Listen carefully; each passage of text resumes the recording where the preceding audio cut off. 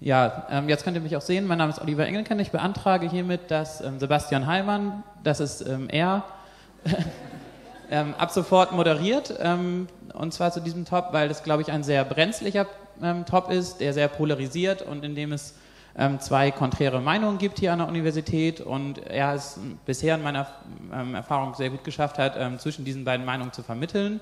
ja, und deswegen, glaube ich, kann er sehr neutral und ähm, locker für uns alle das äh, rüberbringen, ohne das Bild sehr zu verzerren. Ähm, wer das Katerfrühstück ähm, gehört hat neulich, da hat er einen Beitrag gehabt. Ähm, Wenn es jemand gehört hat, da war es, glaube ich, auch schon sehr gut rübergebracht worden, dass es mehrere Meinungen dazu geben kann.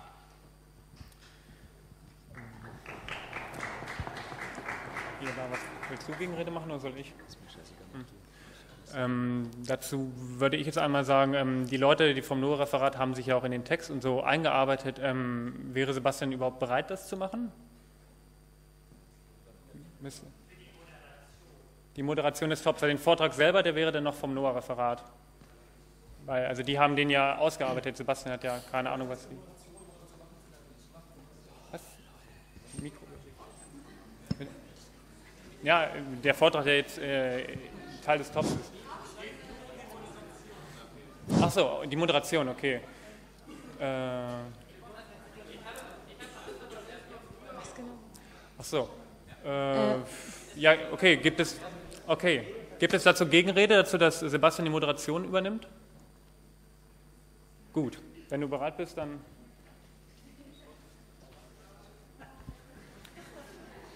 Na gut, äh, als First Order of Business äh, würde ich dann jetzt dem NOAA-Referat die Chance geben, die vorbereitete Präsentation abzuhalten.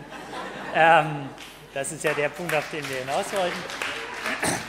Ähm, mein Vorschlag wäre für die folgende Diskussion dann, ähm, dass wir, also wir haben ja diese Polarisation in zwei verschiedene Lager, so ein wenig an der Uni, ähm, dass wenn es dann Fragen aus der Studierendenschaft gäbe, was ich ja sehr hoffe, ähm, dass dann sowohl Leute eben aus dem NOR-Referat vielleicht als auch eben aus der in Anführungsstrichen anderen Gruppierung vielleicht bereit wären, für Fragen hier vorne zur Verfügung zu stellen, zu stehen. Ähm, ich würde die dann vermitteln. Ja, gut. Ja, Dankeschön. Ähm, hört man mich? Ich hoffe.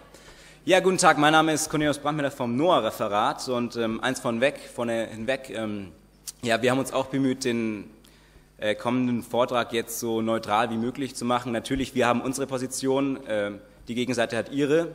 Wir hoffen, dass das, ähm, ja, dass es so neutral wie möglich gehalten wurde. Gut, ähm, ich fange an mit, einer kurzen Über, äh, mit einem kurzen Überblick, wie der Senat eigentlich gewählt wird, wie er aussieht. Und dann ähm, will ich die Ereignisse, ähm, die jetzt den ganzen April über hinweg den Senat beschäftigt haben, euch kurz darlegen und einfach dafür sorgen, dass ihr informiert seid, was derzeit im Senat los ist. Ähm, der Senat besteht insgesamt aus 19 Mitgliedern. Dazu sind äh, zehn von den äh, Professoren gewählt, zehn von den Mitarbeitern aus der Technik und Verwaltung. Äh, ja, Entschuldigung, drei. Drei, von, äh, drei sind wissenschaftliche Hilfskräfte und drei sind von den Studierenden gewählt. Da haben wir zwei von der Liste Eine Uni für alle und eben einen von der Fachschaft. Und der Senat wählt zusammen mit dem ähm, Stiftungsrat eben das Präsidium. Das sind hier mal ähm, gerade Sascha Spun als Präsident und Holm Keller als hauptamtlicher Vizepräsident. Ähm, worüber gerade abgestimmt wird im Senat, ist der äh, Artikel 38 des Niedersächsischen Hochs Hochschulgesetzes. Äh, da geht es über die Wahl des Präsidents oder der Präsidentin. Ähm, Normalerweise ist es so, dass der Präsident ähm, wird so gewählt, dass ähm, eine Findungskommission eingerichtet wird. Der muss dann, ähm, dieser Findungskommission muss dann ähm, der Senat und äh, der Stiftungsrat zustimmen. Seit Juni 2010 wurde hier in Absatz 4, der Satz 4, der hier fett gedruckt ist, ähm, hinzugefügt, eben mit Zustimmung des Senats und des Hochschulrates, das ist in unserem Fall der Stiftungsrat, kann die Ernennung oder Bestellung für jeweils eine weitere Amtszeit ohne Ausschreibung erfolgen. So. Ähm, am 6.4. bzw. im Vorfeld des 6.4. Ähm, hat der Senat bereits ähm, über eine Einrichtung einer Findungskommission diskutiert.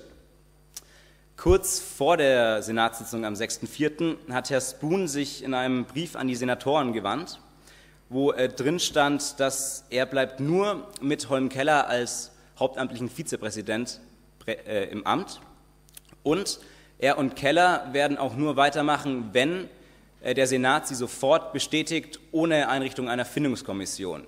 Also man hat den Senatoren praktisch die Wahl gelassen zwischen ähm, Spoon und Keller für weitere acht Jahre sofort zu bestätigen oder der totalen Unsicherheit. Also äh, er hat gesagt, er macht nicht mehr mit bei einer Findungskommission. Ähm, das ging dann weiter, also die, ähm, das Ergebnis vom 6.4. war dann, dass Spoon wurde ähm, vom Senat gewählt, ähm, Keller nicht. Laut, äh, laut der Landeszeitung hat ihm dazu eine Stimme gefehlt. So die einzig logische, Konsequenz daraus wäre, dass als nächster äh, Tagesordnungspunkt ähm, Einberufung einer Findungskommission für, den, für das Amt des Vizepräsidenten jetzt ähm, auf der Tagesordnung stehen müsste. Das ist nicht geschehen. Dafür gab es dann am 13.04. Äh, gab es eine zweite außerordentliche Senatssitzung, äh, wo Herr Spoon ähm, eine Aussprache mit dem Senat gefordert hat. Da gab es dann im Vorfeld, also es hat sich die Gruppe äh, Spoon for President herausgebildet. Ähm, das NOAA-Referat und der AStA haben äh, dazu also, ja, die Gegenposition bezogen. Es gab praktisch eine Art ja, Wahlkampf-Feeling hier. Wir haben, also das, der AStA hat ähm, am 13.04. vor Gebäude 10 eben diese Jubeldemo veranstaltet. Ähm, und, was, und dieser ganze Prozess hat eigentlich dazu geführt, dass sich die Studierenden in zwei Lager aufgeteilt haben. Das heißt, auf der einen Seite die und auf der anderen Seite die anderen. Ein, ja, eine Diskussion war kaum mehr möglich. Also man hat gepöbelt, man hat beide, beidseitig wurde gepöbelt. Ja? Ähm, man, hat mit, man hat Angst geschürt, es war kaum mehr rational, es war auch nicht mal neutral. Ähm, bei dieser Senatssitzung gab es nur, also es gab keine Abstimmung, es gab nur eine Aussprache. Die Senatssitzung am letzten Mittwoch äh, war anders. Da stand, ähm, also im Vorfeld dieser Senatssitzung hat Spoon im Rahmen der Hochschulöffentlichkeit die Wahl zum Präsidenten angenommen.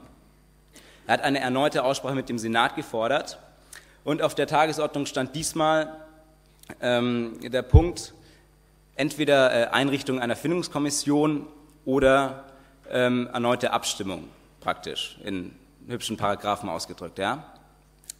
Ähm, es kam zu keinem von beiden. Ähm, es wurde A nicht abgestimmt und eine Findungskommission wurde auch nicht eingerichtet. Ähm, der gesamte Vorgang wurde nicht öffentlich gemacht.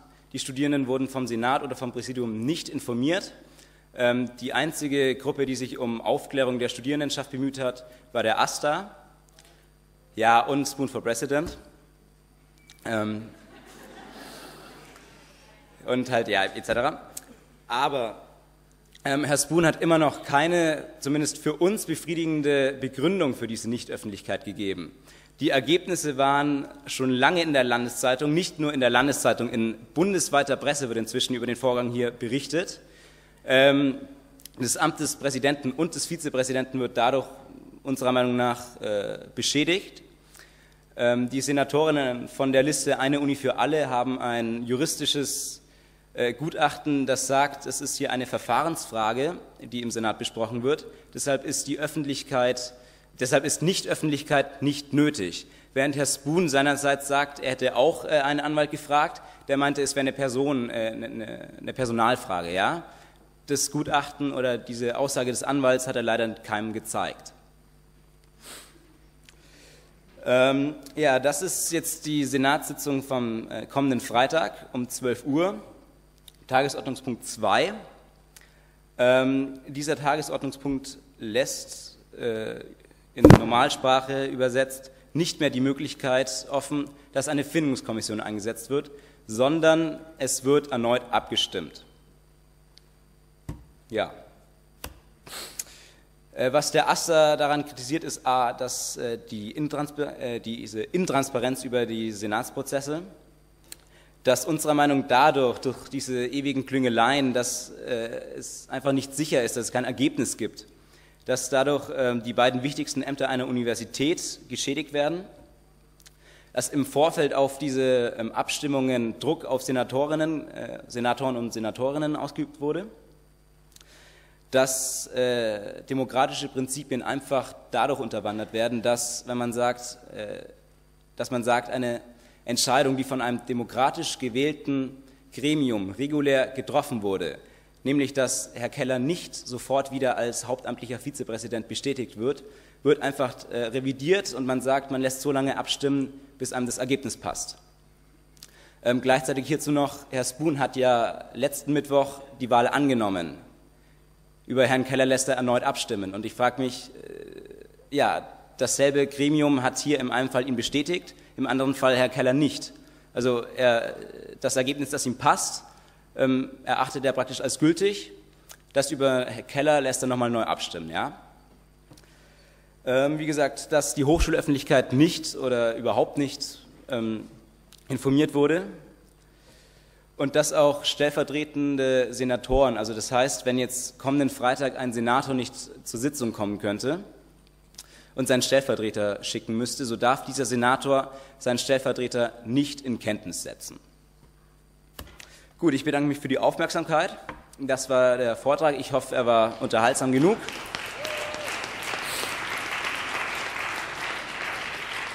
Fragen, Einladungen, Anmerkungen?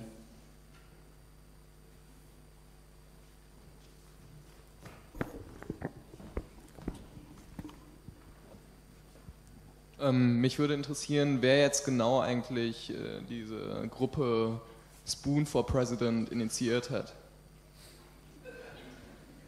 Ähm,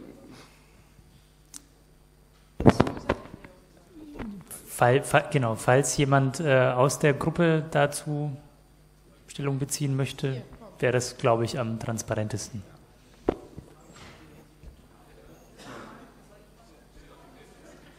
Magst du die Frage nochmal wiederholen?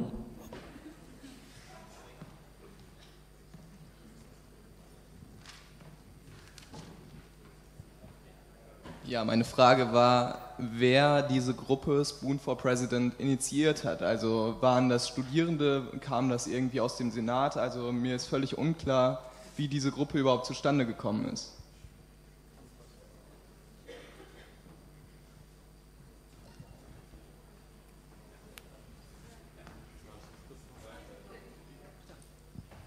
Geht das? An? Äh, ja, moin, Jan-David Fick, mein Name. Ähm, auch einer der Mitinitiatoren der Gruppe. Wir sind Studierende, die sich spontan zusammengesetzt haben, und zwar aus mindestens äh, drei der vier Fakultäten Studierende. Die Namen findet man auch alle auf der, auf der Facebook-Seite von Spoon for President. Und inzwischen auch in der Zeitung, ja. Ja, ähm, genau. Ich melde mich jetzt mal kurz in meiner Eigenschaft als Studierendenparlaments, Mitglied des aktuellen Studierendenparlaments, nicht als Wahlleiter. Ich möchte nur darauf hinweisen, dass die Ansicht, äh, die ja von der Spuren for President Gruppe vertreten worden ist, dass diese Wahlentscheidung äh, relevant ist für die Weiterexistenz wieder das jetzige Bestehen der jetzigen Form der Universität, also, also praktisch dieses Präsidium wichtig ist für den Erhalt der Uni, äh, ist eine legitime Position, die ich persönlich nicht teile, aber die man sich einnehmen kann. Ich möchte an dieser Stelle ein bisschen bedauern, dass eben die Mitglieder des Studierendenparlamentes, die diese Facebook-Gruppe mitgegründet haben, eben nicht das höchste Gremium der Studierendenschaft, also das Parlament, dafür genutzt haben, diese Frage, die alle Studierenden angeht, zu klären, also auch irgendwie aus der Studierendenschaft heraus eine Stellungnahme dazu erwirken, sondern eben diesen außerparlamentarischen Weg gewählt haben. In meinen Augen ist damit das Studierendenparlament ein bisschen geschwächt worden und das finde ich persönlich ein bisschen schade.